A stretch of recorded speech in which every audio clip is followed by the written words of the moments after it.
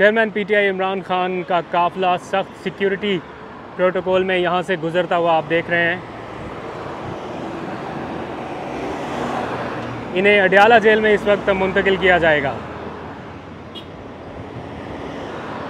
यहाँ से जो इस्लामाबाद की रिज़र्व नफरी थी, वो स्टैंड बाई पर थी, अब वो भी उन्हें लेके यहाँ से रवाना हो रही है।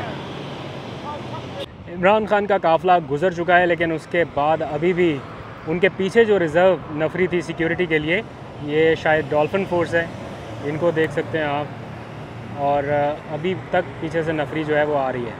शायद कवर अप सिक्योरिटी नफरी थी। तो स्टिल ये भी इस्लामाबाद की तरफ़ आगे बढ़ रही है।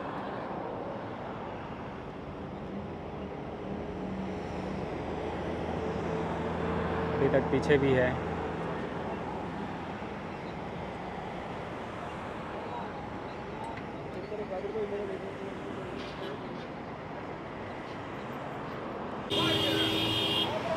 चेयरमैन पीटीआई इमरान खान अब अडयाला जेल के लिए रवाना हो चुके हैं।